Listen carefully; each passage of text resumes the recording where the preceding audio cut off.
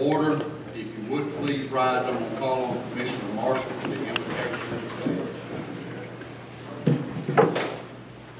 Lord, to thank you for the day that you us with, the day that we've never seen. Thank you for those who came, uh, participated in the local government. Pray for those who uh, wanted to come but uh, couldn't make it.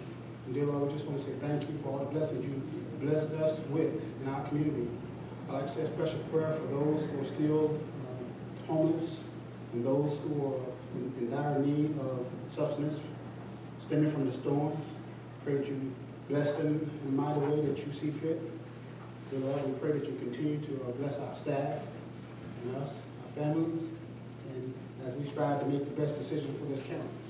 All these best we ask in your son Jesus' name we pray. Amen. Amen. pledge